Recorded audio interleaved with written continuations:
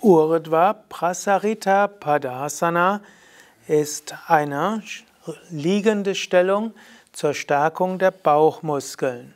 Vom Liegen strecke die Arme nach hinten aus. Das ist dann Prasarita.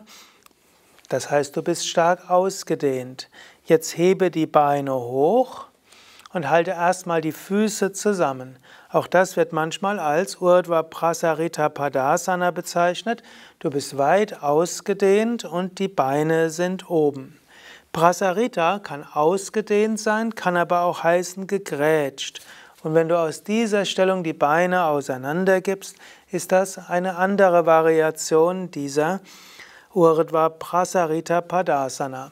Beide Variationen stärken die Bauchmuskeln, erfordern ein gewisses Körpergefühl, denn du solltest die Lendenwirbelsäule im Boden halten.